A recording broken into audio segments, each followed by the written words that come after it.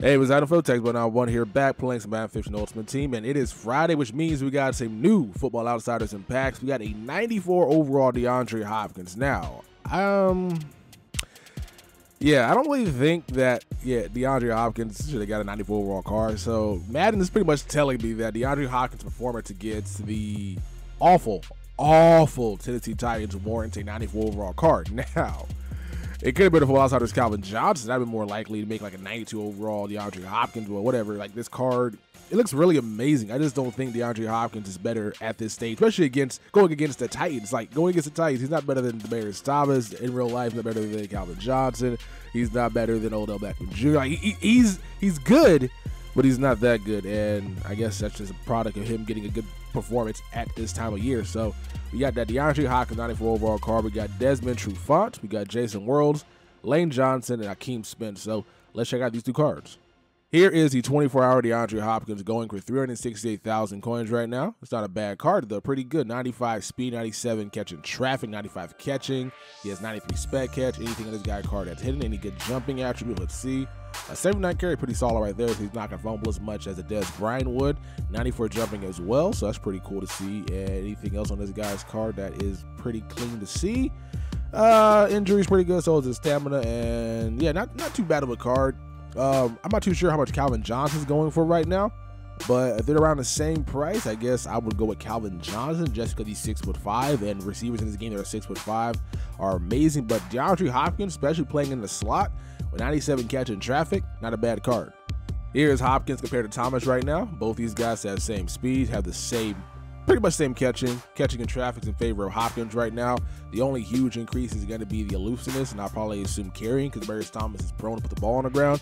Here is Jeremy Maclin as well, whose price I think is around 190,000 coins. And here is uh, Emmanuel Sanders. You got this uh, Mike Evans, Devin Hester, just for bleeps and giggles, and T.Y. Hilton. So, like DeAndre Hopkins' card is not it's not bad. I just really hope it comes down around the same price as those two receivers do because right now, if you guys want to get a nice elite top tier wide receiver, I recommend picking up Maclin or Marius Thomas because right now the price is pretty cheap and they can pretty much do the same thing Hopkins can. Plus, uh, in Demaryius Thomas' case, he's a lot taller. A cornerback that I'll be picking up is this Desmond Trufant for the South One. 94 speed, 95 acceleration, 95 man coverage, 90 zone, 83 player condition with an 80 awareness, 95 agility. He can be my new slot cornerback because right now, or my nickel cornerback, because right now I don't have a guy to rely on. Like Casey Hayward's good, but he's not fast. Vontae's good, but he's not fast. My fastest cornerback is this Cromartie, and he gets stuff done. And in my nickel, I'm running this Sean Smith, who is really slow, like 89 speed. That is really slow, and pretty much he gets picked on because in this game, people will abuse drag routes and slants, and because they abuse those two routes, when receivers who aren't fast enough to keep up with them, usually a big gain. So when Desmond Trufant's price comes down, I might have to pick him up. Uh, oh, I'm not might. I'm going to pick him up. I'm just going to see his price come down first because I only want to pay that 70,000 coins right now for this guy's card. It's kind of expensive, but he is not a bad card. Any good catching on this guy's card? Let's see. Any good catching? 66 catching. So that's good enough, I guess you could say. Uh, 94 jumping as well, so everybody has the same jump rating. This guy 94. And how's this guy run support? He has good block shit with that 67, better than most cornerbacks in this game and he has good injury and decent stamina. So he's not terrible. Um, I really just buying for his speed. That 90, 94 speed is something that's awesome and it can affect my team immediately. So uh, not a bad cornerback right here. So this Jason World has been up for about an hour and a half and nobody's bought it yet. So I'm probably not expecting a great card right here.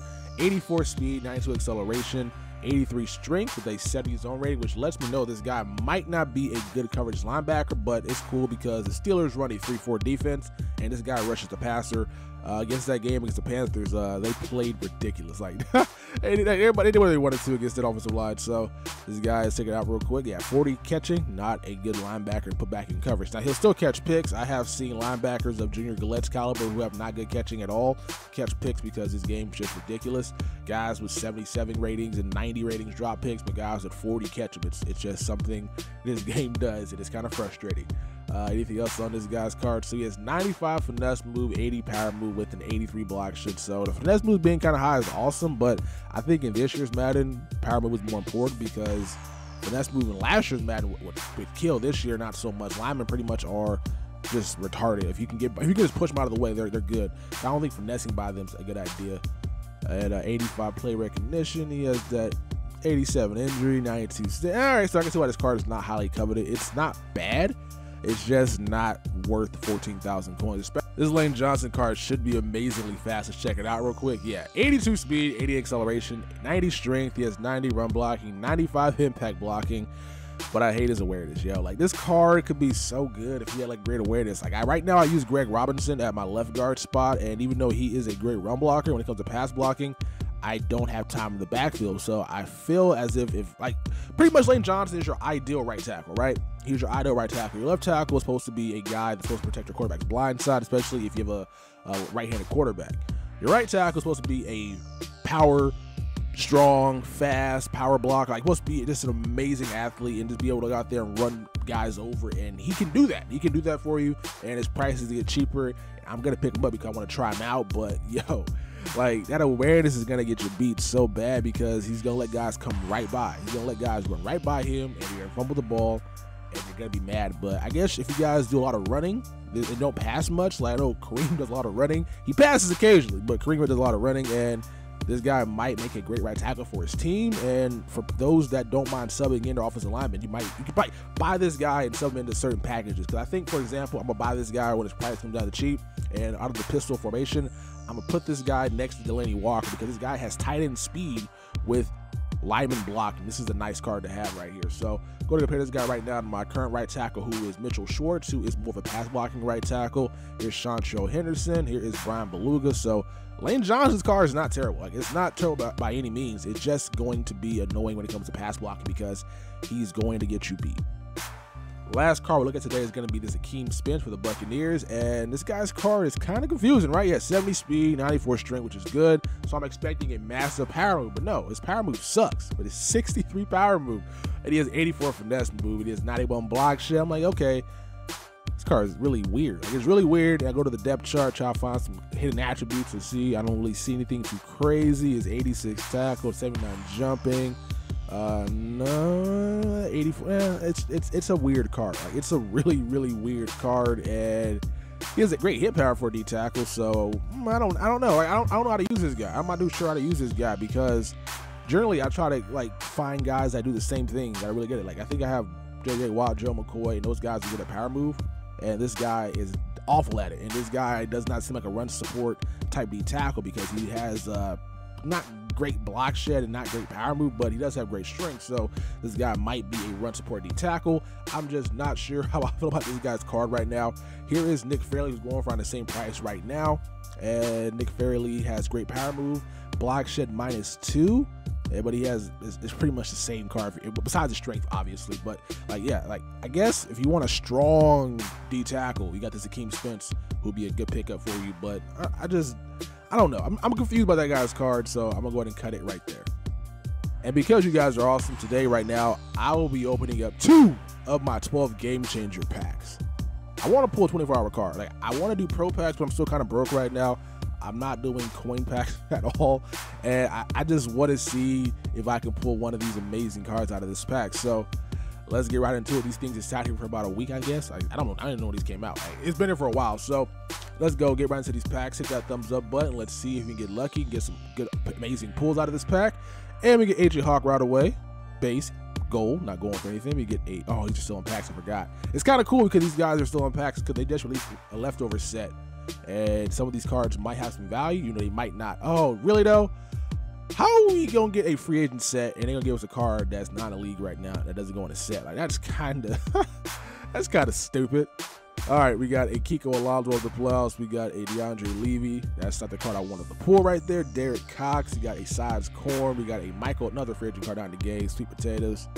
Green Bean, 49ers playbook. We got Eddie Royal. Bro, okay, can I pull like a high gold? Like, no, no high gold yet. We got the Kiko Alonso, our highest gold, is going for like 300 coins. All right, that's not good. That's not good. The turkey collectibles, we get a Xavier Rhodes, extra gravy. We get a gold badge. That kind of scared me for a second. Thought I'd be an elite. A Kendrick Lewis, the wrong Texans guy with dreads, and last card is a cornbread. So that pack was not that good. That pack was pretty bad. Like I honestly think the most expensive cards in these packs are gonna be the uh, turkeys collectible, which kind of like it, it, makes me want to go ahead and open the rest of my pack so I can get those turkey collectibles. But I'm gonna go ahead and wait. So let's get into the next game changer pack right here, and that will wrap up the video as we get a Joique Bell. Go backwards this time. Get a Zack Martin Rising Star ground and pound. Okay, not bad. Compare this guy real quick to what I currently have. I right now I'm in between right guards, right? I'm in between right guards. Like I really, really I'm, oh, I'm playing Mike Pounce. I'm, I'm playing Mike Pouncey at center, and I want to sell Kyle Long. And I want to sell Marshall Yanda. So I think I might do that Zack Martin set. I, am not. I don't know though. I might. I might end up doing it. I might not. We'll see. I get another one of these cards in this video. As we get a Gold Turkey collectible, Bill O'Brien. We get a TJ Carrie, which takes place for my collectible. Not bad there. Which I've been elite player. We get another Thanksgiving collectible. Gold Quentin Jammer. Is he in the set? Yes, he is. Go add that guy to the set because he's probably going for no coins. We get a Corey Liuget. Oh, Sammy Watkins. Come on now. Leasted. Leasted. Wow. Elite.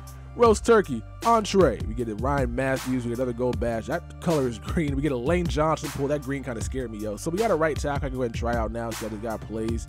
See how that run blocking is. We got a Ryan Tannehill quarterback for the Dolphins. An elite dessert apple pie fried turkey. We get elite Nate Washington. Oh no, Chris Clark. We come down to the last couple cards, guys, and does not let me pull anything else out of that pack. So we got two elites to that pack, plus Zack Martin, plus Elaine Johnson. Not terrible. Man, I was so close to pulling my first 24 hour card, but that's going to be pushed off maybe until next week. We'll see. Anyway, folks, that's the video. Hope you guys enjoyed this quick pack opening of the Texas Boy, and I'll catch y'all mother later. Peace.